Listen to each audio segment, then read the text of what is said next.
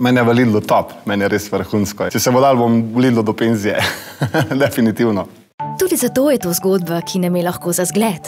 Je zgodba o vezeh, zaupanju in navdihu. V njej glavnih junakov ter junakin ne manjka. Prav zaradi njih je Lidlova ekipa nekaj posebnega. Je ekipa, ki navdihuje že 15 let. Ekipa, katere del si preprosto želiš postati. Če bi danes zopet iskala zaposlitev, bi želela delati v Lidlu.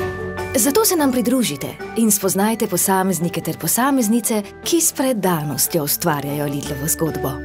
Lidl, preprosto več za vas.